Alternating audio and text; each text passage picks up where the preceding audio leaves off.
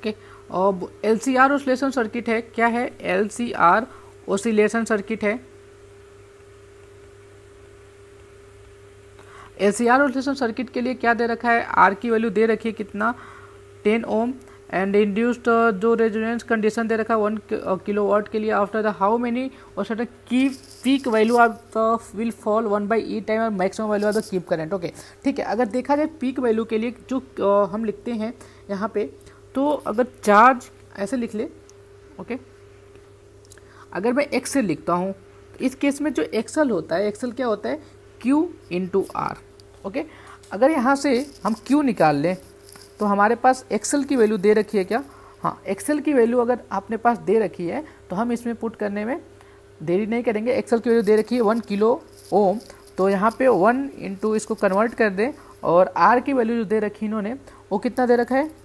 Ten ohm okay solve कर देंगे तो ए आएगा हंड्रेड ओके। अब देखो अगर ए क्यू अगर हंड्रेड से हंड्रेड है तो oscillation current will reduce to one by e. तो ओसिलेशन जो करंट होगा वो रिड्यूस कर देगा वन बाई ई को।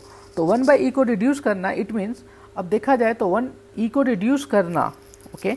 वन बाई ई को रिड्यूस करने का मतलब ये होता है कि आप में जो भी आपने सोचा ओके okay, आ, उसमें ऑप्शन देखा जाए अगर ऑप्शन में देखूँ इसमें तो आपका ऑप्शन जाता है इसमें M A fifty by fifty by something fifty by और हंड्रेड दे रखा है तो इसमें आपका हंड्रेड आएगा तो आपका ऑप्शन इसमें दे रखा हो हंड्रेड आया ना तो आपका ऑप्शन है उसमें हंड्रेड वन बाई ए की वैल्यू उसमें कम हुई तो आपका हंड्रेड इज़ इधर correct option it means option जो है बी करेक्ट है।